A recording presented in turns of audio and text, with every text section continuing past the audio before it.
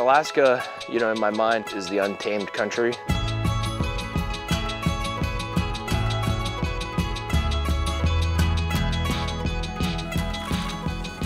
at this camera.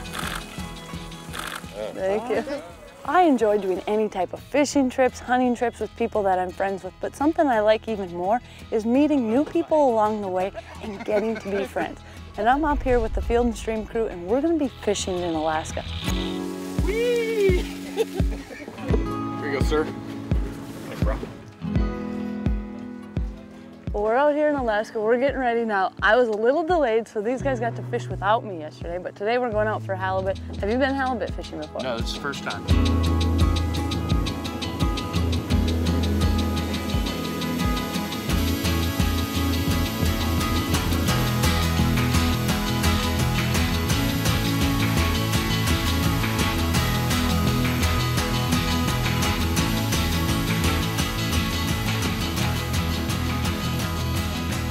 There you go. Go.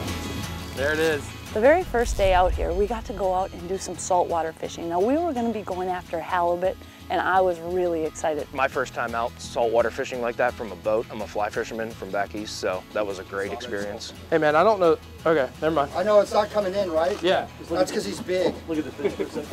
That's a good sign. That's a good sign there.